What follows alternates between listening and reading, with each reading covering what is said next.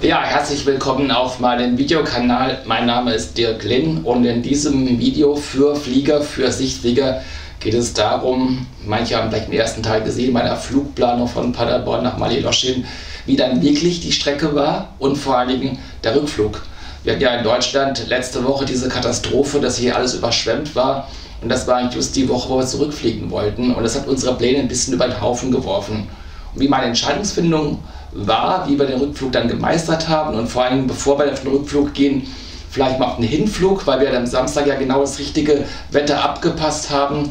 Das war ja wirklich der einzige fliegbare Tag. Sonntag wäre auch noch gegangen. Aber wir schauen uns kurz mal die Strecke an, die wir geplant hatten. Und es ist eigentlich unsere Standardstrecke, wenn man so will, über Innsbruck rüber, dann Brenner und dann hier ein bisschen abgekürzt dort. Man kann es hier vielleicht auch ganz gut sehen von den Wetterlage, also genau wie das eigentlich prognostiziert war. Wir hatten hier eine ordentliche Bewölkung, aber ein tiefer Stratus, ein SC, der wirklich oben frei war und wir konnten gut über diese Wolken drüber, die dann über dem südlicheren Teil von, von Deutschland ungefähr bis äh, Anfang Bayern lagen. Und dann hat man auch schon dieses Wetter, weil es gab ja auch schon auch ein Unwetter die Woche, in der wir geflogen sind. Wir sind Samstag am 10. Juli geflogen und es gab ja schon einige starke Regenfälle. Das ist übrigens das gleiche Tief, das sich über Deutschland nochmal eingedreht hat, das dann eine Woche später, Mittwoch und Donnerstag, in dem Westen diese riesigen Überschwemmungen verursacht hat. Aber man kann hier schon sehen, auch in Bayern, wie die Lage dort war. Und es hat sich ja nochmal gedreht, dass dann wirklich ähm, eine Woche später das nochmal zurückkam. Das ist Innsbruck, also der Brenner war frei, wir konnten sehr gut fliegen und man sieht hier, die Gipfel waren schon in Wolken eingehüllt, also Passfliegen war angesagt. Und wir haben so ein bisschen abgekürzt. Hier, das ist jetzt nicht genau die Brennerstrecke, die wir haben, also über Bozen runter Richtung Gardasee, sondern wir konnten da relativ gerade runter Richtung Venedig fliegen. Wichtig ist immer, den Horizont zu beachten. Also ich äh, habe hab mir immer so als Ziel gesetzt, wenn ich nicht durchschauen kann und keinen Horizont hinten in der Ferne sehe, dann wird ein Pass auch nicht geflogen. Und hier darauf achten, eben über diese Windrichtung, welche Windrichtung über den Pass drüber geht. Man weiß ja, wenn vom Pass der Wind von vorne kommt, da gibt es ein Rotor, der hinten uns runterzieht, also genügend Abstand auf alle Fälle lassen. Und äh, wenn es starke Sonneneinstrahlung ist, immer auf der Seite, wo die Sonne sehr stark ist, da sind die Aufwinde, aber das wissen ja viele Alpenflieger. Deswegen immer ein bisschen aufpassen in den Alpen, gucken, dass die Pässe okay sind und wenn man irgendwo eine, sagen wir, eine, eine M oder eine, eine D-Meldung hat im GAFOR, also man, man hat wirklich eine schwere Wetterlage und man kennt sich äh, vom Ort nicht aus, lasst das. Das ist wirklich für die Einheimischen dort, wenn jemand keine Erfahrung hat, diese Pässe besser nicht fliegen. Vor allen Dingen, wir waren voll gepackt, voll getankt, vier Leute Gepäck in der 182er Cessna. Das heißt, auch die Steigleistung ist dann nicht mehr so gut. Gut, nach zwei Stunden Flug ist ein bisschen Sprit raus. Trotzdem aufpassen auf die Performance der Maschine. Und das ist die Richtung Venedig. Ich habe ja gesagt, wir haben so einen Shortcut geholt. Hier sehen wir dann an Aviano vorbei. Ist halt viel Funkerei dort, weil man immer auf die verschiedenen Frequenzen ge gesetzt wird. Dann Tessera, der große Flughafen von Venedig. Und dann geht es über Labin Point direkt Richtung äh, Pula bzw. Mali Loschin. Das hier die Karte auf den Kopf gestellt, also Nordrichtung ist hier. Ich habe die Karte jetzt hier in Flugrichtung gedreht. So, und dann habe ich hier zum Beispiel Lagune und wenn man die Lagune von Venedig schon länger kennt und wir sind schon sehr oft drüber geflogen und dann sieht man, wie wenig Boote hier drauf sind, wie wenig Verkehr dort ist. Unter dem Tag war auch, glaube ich, hier von den EU-Ministern auch eine Konferenz, das war so relativ gesperrt, auch der kleine Flugplatz, der Lido von von ähm, Venedig war, glaube ich, in dem Tag sogar geschlossen wegen des Aufkommens der Politiker. Aber wir sind da drüber, also problemlos drüber geflogen, sind dann in Maliloschi gelandet und zwar, wenn man es hier sieht, auf der Strecke sind wir hier runter und wir hatten dort einen leichten Westwind, also noch von hinten rein in die Landebahn 2.0. Das kann man hier ganz gut sehen. Hier gibt es noch diese Bergkette, die uns übrigens bei Bora beim Abflug hat man eine andere Windrichtung. Da kam der Wind eben als Fallwind von der von der Landseite dort und dann hat man hier starke Rotoren und auch beim, beim Start merkt man das ziemlich stark. Ich habe hier eine ansteigende Piste, also auch bei der Startrollstrecke aufpassen. Wir haben hohe Temperaturen, wir haben eine leicht ansteigende Piste, ansteigendes Gelände plus eben mögliche Verwirbelungen, die über das Land kommen bei Bohrer. Also gerade wenn man äh, mit der Performance am Limit ist, muss man gucken, ob das alles so passt. Bei uns war aber alles okay, das heißt, wir konnten unsere Tage in Loschin genießen. So, das war der Flug runter. Wir haben also knapp vier Stunden gebraucht mit der 182er. Wind war alles soweit okay. Und dann nach einer Woche bzw. Freitag hatten wir den Rückflug geplant kam nämlich genau mittwochs diese Lage in Deutschland. Wir haben dort ein Riesengebiet gehabt. Hier oben sieht man es noch über Nordrhein-Westfalen und Belgien und Niederlande, wo es den Rückflug an dem Freitag dann auf alle Fälle erschwert hat. Und mit den ganzen Bildern der Unwetter wollten wir auch kein Risiko eingehen und haben dann zwei Tage verlängert. Zwei Tage mussten sein, weil eben an dem Samstag dort, den wir dann an der Brücke hatten, also zwischen Freitag und Sonntag, der Samstag, da war ein Höhentief, ein Höhendruck besser gesagt, in Kroatien anges, äh, angesagt und eine re relativ instabile Wetterlage dort. Und auch Sonntag, Montag war Bohrer angesagt, wobei das jetzt nicht so schlimm ist, weil wir dann nicht Richtung Osten fliegen, sondern eben nach Westen fliegen wollten. Und wenn wir mal die Meteogramme uns mal anschauen, ich habe hier mal Innsbruck rausgeholt, hier ist Samstag, hier ist Sonntag, dann sieht man eine relativ hochreichende Bewölkung. Auch die 0-Grad-Grenze, dieser grüne Strich, den man hier vielleicht noch erkennen kann, bedeutet ungefähr bei Flight Level 120 mit Vereisung zu rechnen. Also 0 Grad bedeutet, dass das Wasser dann entsprechend gefriert und oben drüber einen Ansatz auf die Flächen und auf die Scheibe geben kann. Und das ist jetzt zu vermeiden auf alle Fälle und nicht spaßig. Das kann mal kurzzeitig passieren, aber hier ist eine massive Wolkenschicht, die relativ hochreichend ist als Prognose.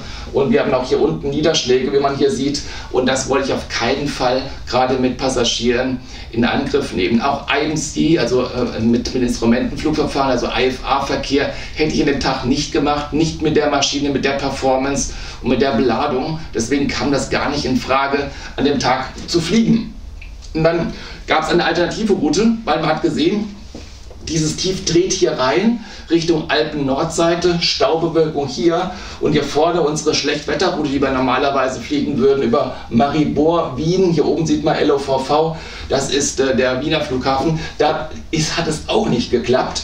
Und ähm, das hat sich ausgeschlossen. Vor allem, wir haben hier zu erwarten, dann schlechtes Wetter und das muss auch nicht sein. Da das aber alles hier reingedreht hat, war mit der Zeit im Westen bei Bern einigermaßen Wetterberuhigung und auch die Pässe dort besser. Und das ist jetzt das Bild, man sieht so hier 17.07., das ist das Bild von Österreich von Garfor an diesem Samstag, den wir nicht geflogen sind. Und das ist erschreckend, wenn man mal guckt, das Rot ist X-Ray mit starkem Gewitter mit dabei, Marginal, also grenzwertig hier oben. Selbst hier diese schlechte Wetterroute ist nicht fliegbar. Und gerade bei Bora, wenn wir übers Land fliegen würden, also Pula und Richtung Maribor, das schaukelt dermaßen. Und das ist gerade bei schlechter Sicht und bei drei Passagieren, die vielleicht auch nicht so flugerfahren sind, es ist nicht schön. Deswegen hat sich es für mich erstmal ausgeschlossen. Und wenn man nach Deutschland guckt, dann sieht man, es wurde jetzt langsam besser. Hier oben von Norden kam die Wetterberuhigung. Auch gute Nachrichten für die Hochwasserkatastrophengebiete dort. Aber es hing eben hier unten noch in den Alpen drin und die Pässe waren den ganzen Tag zu. Was ich mir angewöhnt habe, ist übrigens immer einige Tage vorher sich mit dem Wetter schon beschäftigen. Also das beim Abflug so, aber auch beim Rückflug so. Dass man ein Gefühl für diese Großwetterlage bekommt. Und gerade durch diese Nachrichten, diese Katastrophennachrichten in Deutschland, kein Risiko. Und unser Plan B war, wenn wir es nicht schaffen sollten, über die Alpen drüber zu kommen, auf alle Fälle irgendwo landen und den Montag abzuwarten, weil am Montag gab es eine weitere Wetterberuhigung. Aber wenn eine Chance da ist, wollen wir zumindest mal die Chance nutzen. Und das war so, dass wir in Innsbruck gesehen haben, auch da sonntags mittags ist es noch nicht gut. Wir haben immer noch diese Staubewölkung dabei, hochreichend dort, die 0-Grad-Grenze immer noch einer Stelle, die wir nicht gebrauchen können. Und das ist jetzt hier 18.07. die Voraussage. Und dann sieht man zum Beispiel hier Richtung äh, Richtung Ungarn würde es wahrscheinlich sogar gehen, aber hier oben sieht man, der Rückweg über das Voralpenland im Norden ist einfach dicht. Das nützt also nichts, hier nach Ungarn zu fliegen, dort wieder zu landen. Also die Ostroute war eigentlich, war eigentlich tabu. Und vor allen Dingen wegen dieser starken Bohrer kann man hier mit ganz schön starken Turbulenzen auch rechnen, was für die Passagiere nicht gerade schön ist. Nicht zu sehen und das ganze Gewackel, der macht auch ein IFA-Flug keinen Spaß. Außer vielleicht den Piloten, aber keiner, der mitfliegt. So, und dann gucken wir mal über die Schweiz und das ist ganz interessant. Bei der Schweiz ist es so, dass hier im, im Westen langsam diese Wetterberuhigung kam, die ich jetzt gerade angesprochen habe. Und hier vorne, speziell am Genfer See, der hier ist, da war es schon ganz gut. Und auch bei Bern hier oben, Bern versprach schon gute Sichten. Und da haben wir gesagt, okay, dann werden wir unsere Route anders planen. Mal reingesucht mit Sky Demon, sieht man hier diese Pässe, hier unten ist Lugano, hier ist Bern und das hier sind die äh, Pässe und man sieht hier diese hohen Berge bei Samedan zum Beispiel, keine Chance drüber zu kommen mit einem Shortcut, also eine Abkürzung, das geht nicht. Aber über den Simplon-Pass, wahrscheinlich über Sion außenrum bei Bern, das müsste funktionieren. Und das war auch genau das, was wir dann geplant haben. Dann nochmal ein Blick in die Karte mit Flyable-Option, also der Fliegbar-Option mit Sky Demon. Und das hat uns angezeigt, hier die Alpen sind einfach dicht. Das war auch keine Option mehr. Man sieht also hier unten Slowenien, auch hier Maribor in IMC und hier unten diese verschiedenen Plätze hier über das Landesinnere von Kroatien auch alles dicht. Aber hier rüber über die Westalpen, über die Schweiz das sollte gehen. Jetzt ist die Frage Endurance. Also wir haben einen starken Gegenwind, weil hier oben das dreht sich so ein. Also wir haben einen starken Gegenwind zu rechnen. Wir haben eine deutlich längere Flugstrecke, also auch eine Flugzeit. Jetzt müssen wir überlegen, reicht einfach unsere Maschine, die Endurance, trotz des Gegenwindes. Und die 182er, die wir haben vom LSV Riedberg, die hat eine Endurance von über sechs Stunden, gut geliebt zumindest. Und wir haben hier eine Flugzeit äh, berechnet von ungefähr fünf Stunden, die ungefähr auch eingehalten worden ist. Ein bisschen mehr als fünf Stunden haben wir gebraucht, weil wir einmal runter und hoch mussten. Erkläre ich gleich, ein bisschen mehr Spritverbrauch und deswegen auch längere Reisezeit. Aber zumindest war alles im grünen Bereich. Wetter war grün, Sprit war grün, Maschine war okay, also gute Sichten auch beim Start. Und dann ging es praktisch los, dass wir überlegt haben, ich habe das hier einen Tag später übrigens aus der Zeitung, dass in Oberitalien, in Italien, besser gesagt in Alpen und in Österreich eben genau diese Flutkatastrophe war. Und da war ich froh, dass wir da nicht versucht haben, irgendwas über Innsbruck, Salzburg oder über Wien zu machen, nur so als Zwischenspiel. Ja, morgens tanken, volle Tanks. Ähm, wir waren äh, im Limit drin, das heißt, wir haben nicht zu viel Gepäck dabei gehabt, wir waren leichte Personen und die 182er war also in Envelope drin. Äh, wir haben die Stadtrundstrecke uns, uns angeschaut und wir brauchten die auch wirklich. Es war schon an dem Tag relativ warm und durch diese Bohrer, die wir von vorne bekamen, hatten wir auch wirklich diese Wirbel am Anfang. Wir sind abgehoben hinter der Baumreihe, hat man schon gemerkt, dass sich die Maschine etwas schwer tut und gerade im Querabflug, da gab es dann nochmal einen Schlag drauf, dass nicht alle nochmal gekrallt haben. Und es gab schon die, die ersten Hinweise, wenn der ganze Flug so wird, dann wird es wirklich äh, ein harter Ritt. Aber wir sind dann relativ schnell hochgegangen in oberen Höhen auf Flugfläche 85, also 8500 Fuß. Und dort war es relativ ruhig, ruhige Luftschichten. Wie man auch hier sehen kann, sind wir jetzt also Richtung des Norden ist hier. Ich habe mir extra die Karte in Flugrichtungen projizieren lassen auf Sky.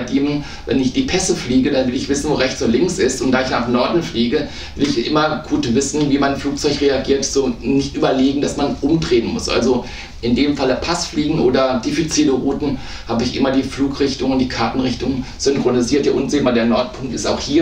Hier ist Bozen, hier ist äh, dann äh, der, äh, der, ähm, der, muss mal gerade gucken, das ist der Gardasee, Riva del Garda ist hier. Dann geht es rüber Richtung Mailand ist hier oben und Mailand hat eben eine Alpha- Kontrollzone, eine Alpha äh, Airspace und dort ist kein WFA-Verkehr erlaubt. Das heißt, ich muss dann mal runter von Flugfläche 8,5 auf 2000 Fuß runter, fast in die Gras, ähm, Grashöhe und dann wieder steigen, kurz vor den Bergen, steil nach oben über den Simplon-Pass. Aber auch das hat funktioniert.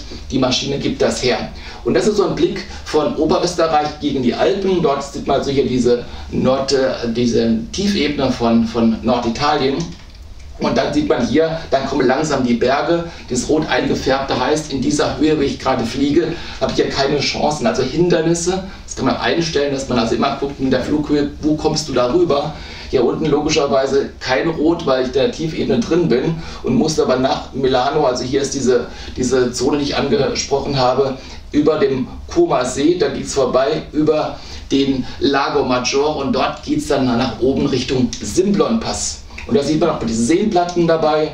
Und das ist jetzt ja Simplon Pass und da sind wir von 2000 Fuß auf 9500 Fuß hochgestiegen, um da drüber zu kommen. Und das Schöne dabei ist, man sieht, die Wettervorhersage hat recht gehabt. Ich habe also keine Staubewölkung dort. Man sieht ja hinten drin die anderen Pässe, die auf Rot waren, weil auf der Nordseite war der, der Pass geschlossen und teilweise gab es schon einige Wolken, die hochgeschossen sind, wo man eine starke, äh, starke thermische Wirkung hatte. Deswegen, wir blieben da auf Nummer sicher, sind da durchgeflogen. Man sieht also hier oben relativ gut die Gipfel oder sehr gut die Gipfel.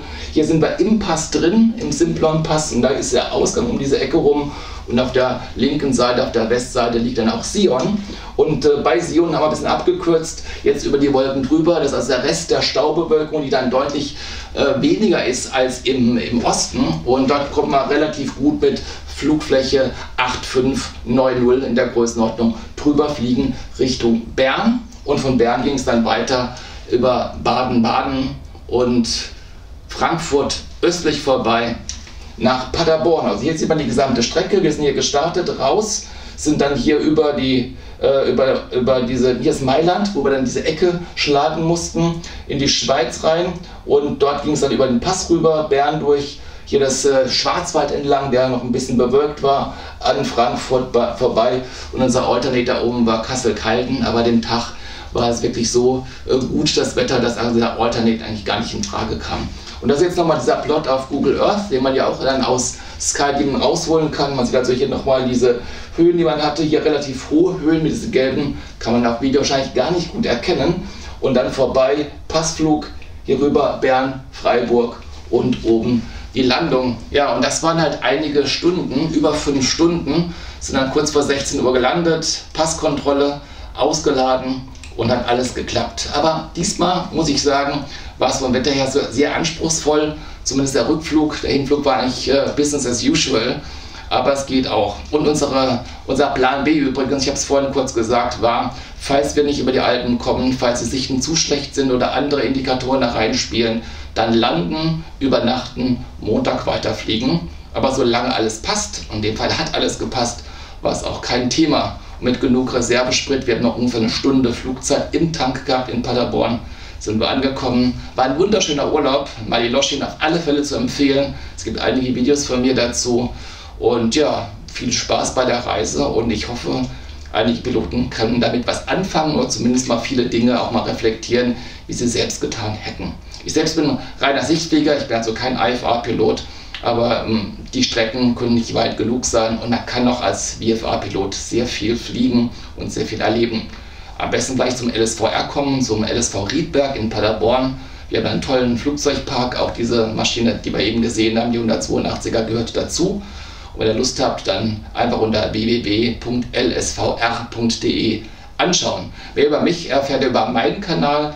Und wenn ihr wissen wollt, was ich beruflich mache, dann geht einfach auf den Kanal von P. Malent consulting p-manent.de ist die Webadresse und ich freue mich über jede, jedes Feedback, jede Resonanz. Macht's gut, euer Dirk Lin und allzeit Happy Landings.